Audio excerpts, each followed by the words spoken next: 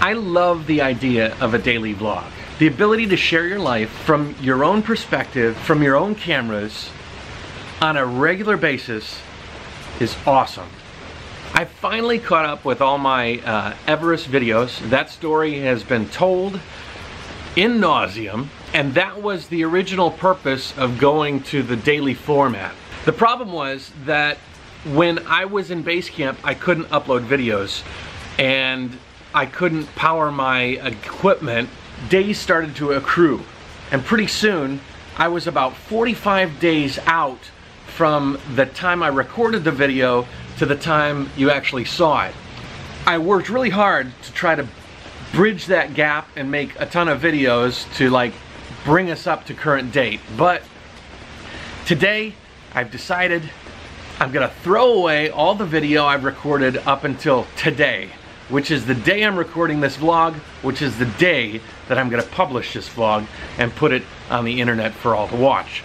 That is the original purpose of this vlog, to share my life the day it happens and put it out the day it happens.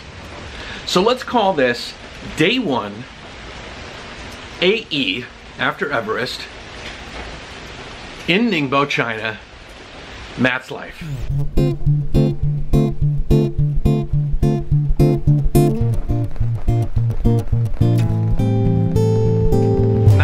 Watching the vlogs in series, yesterday's vlog took place about 15 days ago.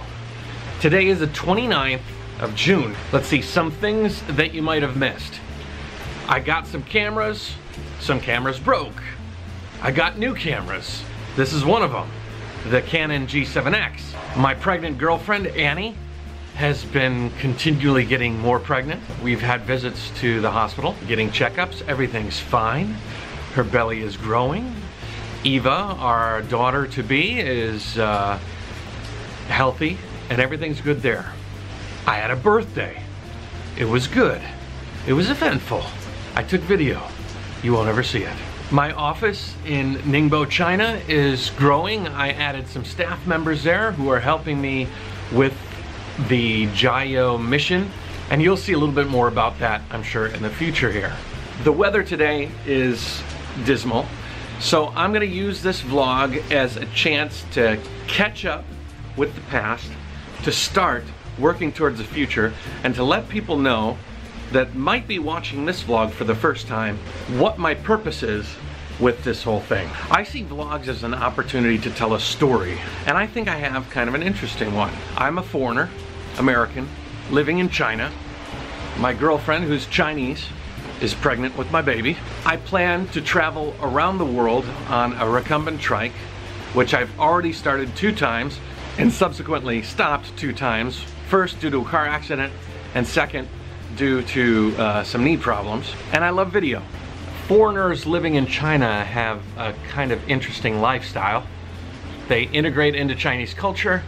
They are foreigners in a foreign land and they have a little bit of a different perspective than most people in the world that live where they grew up or live in the same country that they were born in. So join me on this soggy Ningbo day on the JY vlog. So let me give you a little tour of my home life. This is my apartment. This is my drone. This is my Erhu. It's like a Chinese violin. I don't play it enough. This is my house reef tank. These are anemones. You'll see a lot of fish tanks in my videos. It's kind of my hobby.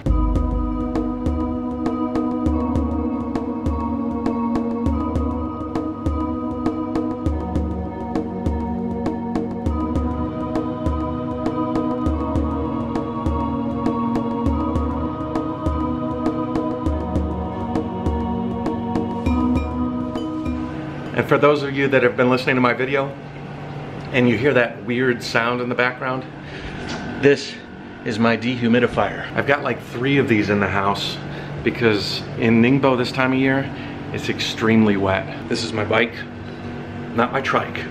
This is Flora. Hi. Say hi, Flora. This is Annie. Say hi, Annie. I'm starting this kind of all over again, just an introduction of my life. How's the baby doing? Moving around? Annie has been uh, frustrated because she's gaining a lot of weight. But I think that's a good thing. All the weight you gain is weight for Eva. If she's too big, I can't. I can't.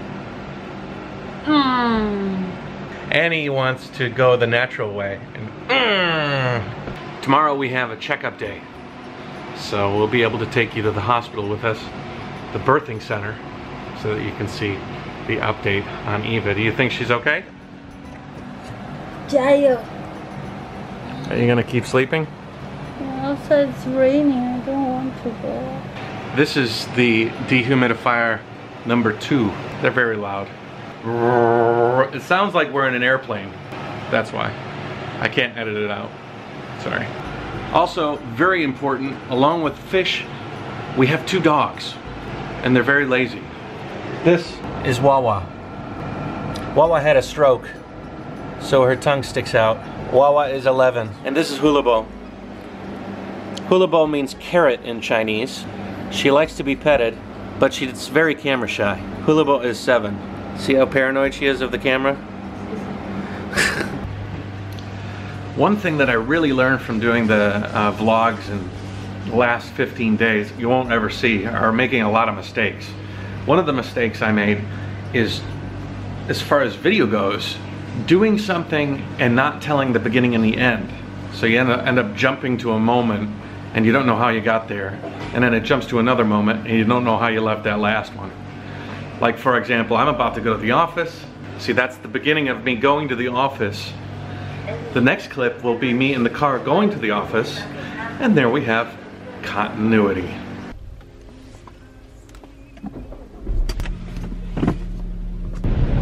Now I'm driving to my office. My office is in Ningbo. Annie is my partner. Uh, it's in an area of Ningbo called Yinzhou, and it's pretty modern. I think a lot of people would be surprised at how modern a lot of China is. Also, a lot of people ask me what uh, what I do here uh, in China. I, I, moved to China six years ago.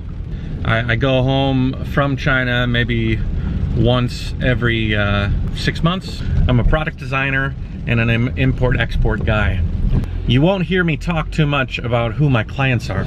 I value their secrecy and uh, trust, and I wouldn't want to just go blathering that I make so-and-so stuff, but I make so-and-so stuff.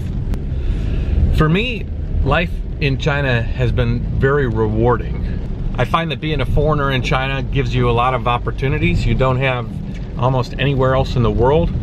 As long as you're willing to eat the food and put up with some of the cultural habits, it can be a land of opportunity.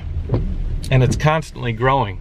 I grew up in Detroit, and Detroit is having a resurgence, but for a long time it was just stagnating, and that stagnation was its downfall.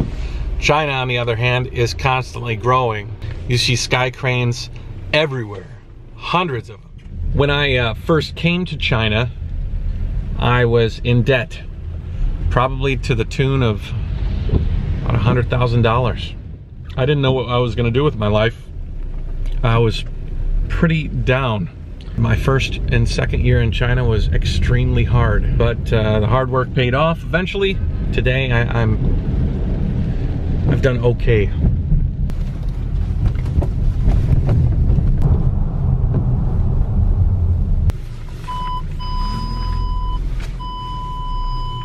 in a lot of ways, China afforded me opportunities I would have never had in the States. In the States, I was focused on business and business alone. And here, I've had a chance to do a lot of things. One of them being a TV show on uh, cable TV here in Ningbo. That's what got me into video in the first place. Thankful.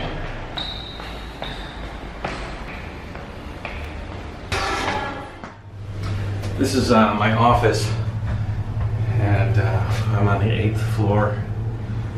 Nice place.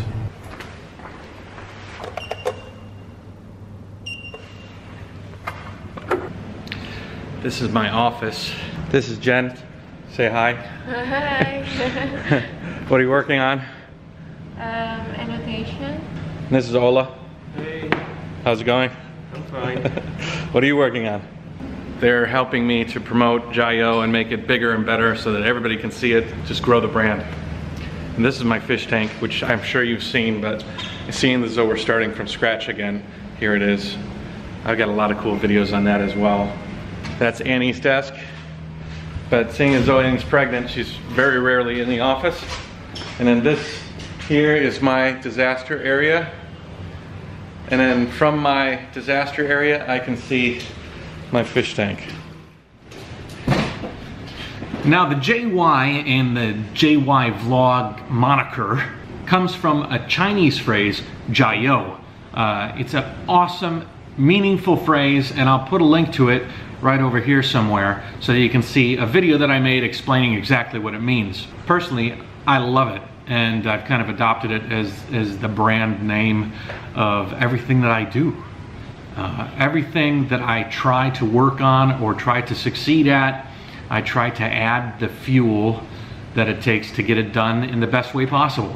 Whether that's traveling, climbing a mountain, having a child, being a good man, all of that stuff.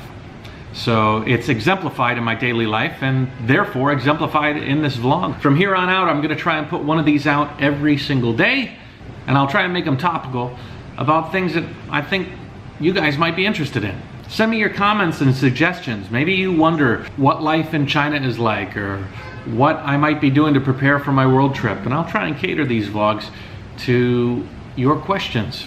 Don't forget, if you want to see more of these, subscribe, like, check out my Facebook, or go to my website, jayoe.com.